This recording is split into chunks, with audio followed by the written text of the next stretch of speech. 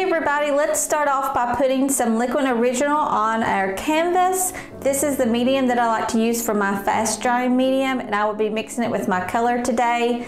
The color that I'm going to be using is the Winsor & Newton Burnt Umber. As you can see here, this is what I like to use for all my underpaintings unless I'm doing a black and white oil painting. I'm just going to put some here on my canvas and I will be mixing this with the Liquin Original. I thought I'd show you guys how much I actually put into the paint because I haven't showed that to you guys before.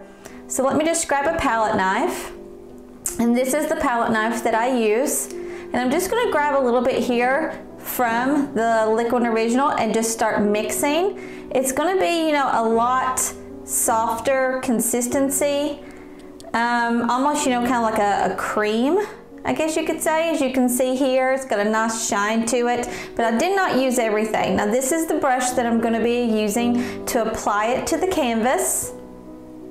And it's a Filbert number nine. I'm just gonna take a little bit off of the palette there. And as you can see here, there's quite a bit on the brush. And I always like to start over in the corner just because it can be a little dark. And this is how you kind of gauge if you have enough of the Liquin Original in the painting or in the paint. Um, if it's too dark and you start to lose those lines that you had just sketched out, then it's too much and you need to add a little bit more of the liquid.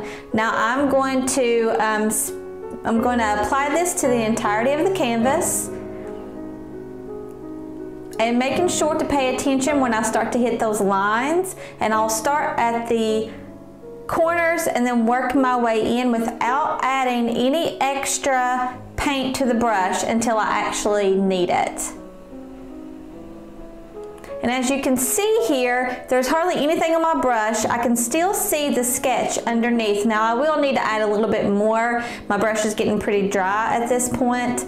Um, there's not hardly any paint on it, so I went in, got me some more paint, and as you can see, it's really dark when you first put it on.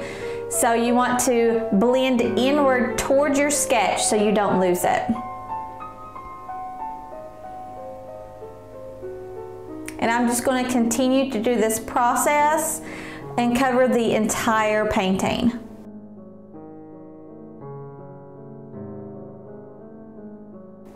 And there wasn't quite enough on there so I went ahead and dipped back into the Liquin Original before I started putting over the actual um, sketch part there and I'm going to speed through this part and I'm going to apply it over the entire canvas like I said and just get all that covered really well. You know, try to fill in as much of the tooth of the canvas as you can and make sure that everything is a nice, smooth, even consistency.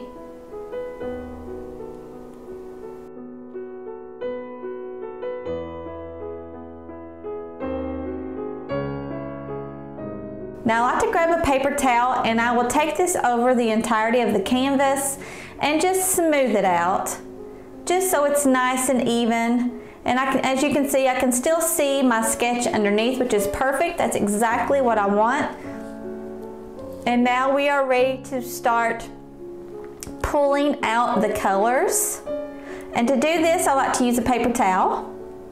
So I grab a paper towel and I start to pull out the big shapes that I see in the dog. And as you can see here in the reference photo, this there's quite a bit of light coming in on the dogs here. Now I really want to make sure that I that I capture that, but I am just looking for those bigger shapes at the moment. And I will work my way, you know, I like to work from left to right. And that way I can make sure that I don't really miss anything.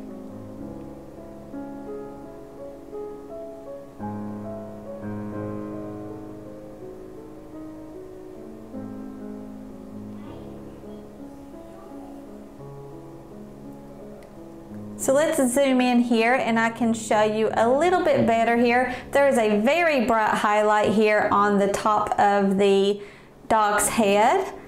And you know, to, to, get this, I'm just looking at the shapes. I'm trying to cover, you know, as much as I can. I like to start big and then work my way to using smaller tools, whether it is a Q-tip or a brush but you know, let's start off with, let's get the biggest parts done first because we are using a Liquin Original and it dries within a couple of hours. Well, not really dries, but it starts to get tacky within a couple of hours. And once that happens, you don't want to be painting anymore. You have to let it dry.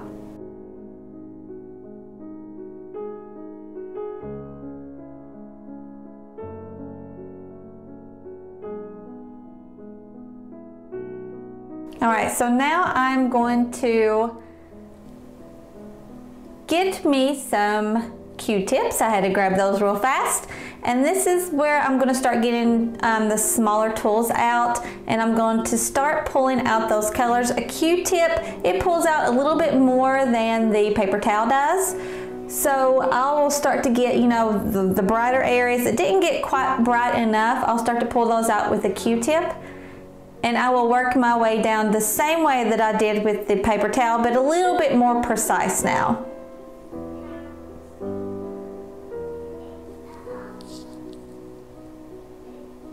And I always like to do the highlights first before I do the darks. It's just a personal preference. If you would prefer to do the darks first, then do the darks first. But for me, I like to do the highlights first. I think that it's easier that way, but it's personal preference. Now there is a really big highlight here on the dog's body. So, you know, I grabbed my paper towel, got that back out, and started pulling out the, the paint again. And then to get a brighter highlight, I went back to the Q-tip. And I will just continue to do this process for pulling out my lights until I'm satisfied with what it looks like.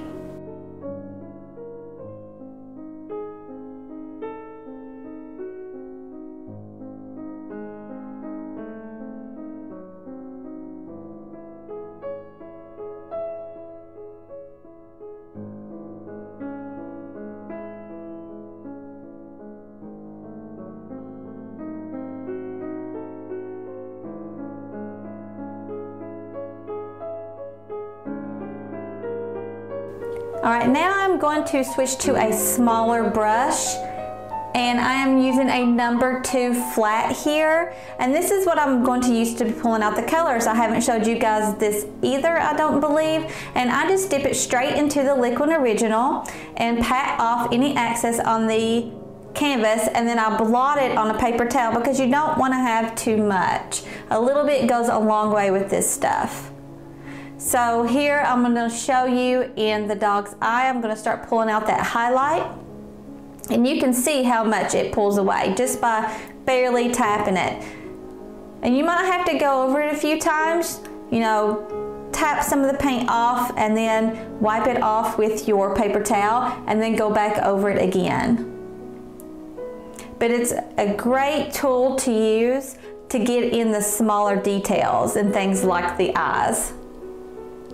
It gives you a very nice sharp edge if you're looking for that.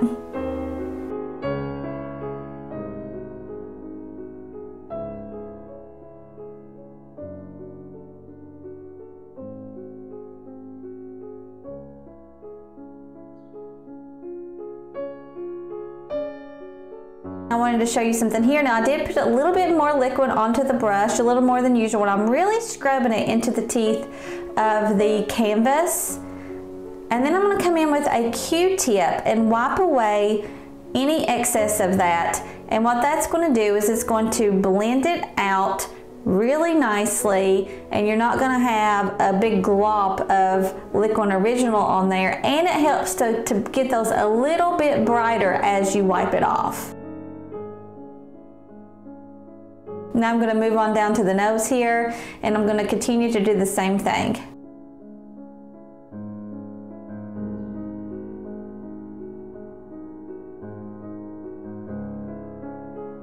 I'm grabbing my Q-tip here and I'm going back in again and just pulling out any of the areas that I feel like aren't quite bright enough.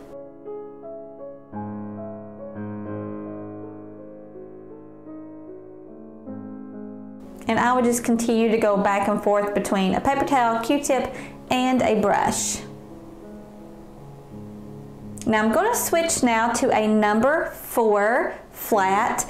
I like to use a lot of flats, flat brushes when I am doing um, animal portraits.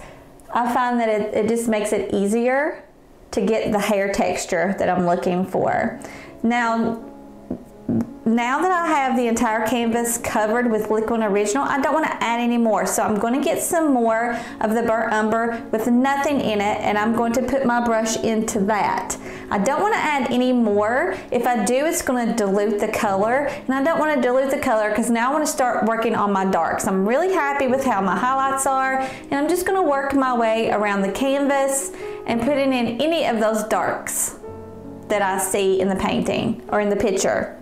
Now I'm gonna just speed this up here and I'm gonna let you guys just see the process. You know, it's pretty straightforward. I add darks where the darks need to be and I add lights where the lights need to be. If I start to notice as I put in the darks that something isn't light enough, then I will go back in and pull out those colors again but it is simply just going back and forth. Um, this is a style that I actually learned from doing a pet portrait course from Marion Dutton of uh, Studio.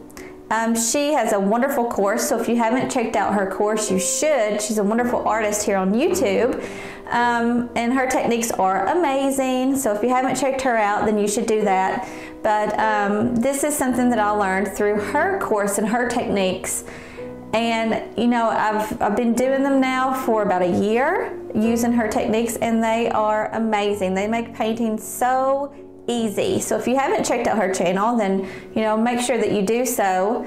But this is just the process that I like to go through, you know, step by step of putting the covering the painting with the underpainting color of what I like to use, which is burnt umber. And then you simply are just going to be pulling out your lights and then you're going to be putting in your darks because whenever you put that base tone of the burnt umber, that's your middle tone. So just keep that in mind and then you know add your darks and add your lights and make sure that you're really paying attention to where your light source is coming from. Now I will be in the next video starting to add the color. So I hope that you guys um, will come back and see that process. It, you, these dogs, they're black and white, so um, I'm trying to decide right now actually on a background. I'm kind of leaning more toward like a bluish gray, so I guess we'll see in the next video. So um, if you guys haven't already, please check out my playlist that I have. I have tons of speed paintings and some more in-depth animal paintings too that you could check out that show my my step-by-step -step process. I do do things a little bit differently um, than other artists in the way and the steps that I go about doing things. So, um, you know, if you like what you're seeing, then please consider subscribing and I will see you guys in the next video. Enjoy!